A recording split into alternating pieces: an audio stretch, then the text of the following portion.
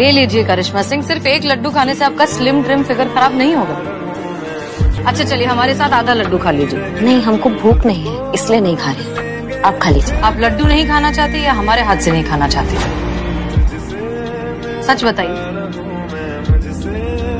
ऐसा कुछ नहीं है मैडम से लाइए लीजिए।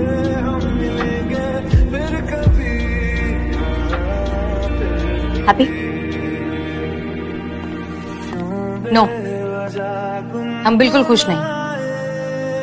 क्योंकि सच तो यह है कि हम करिश्मा सिंह, पुरानी वाली हमारी दोस्त करिश्मा सिंह को बहुत मिस कर रहे हैं।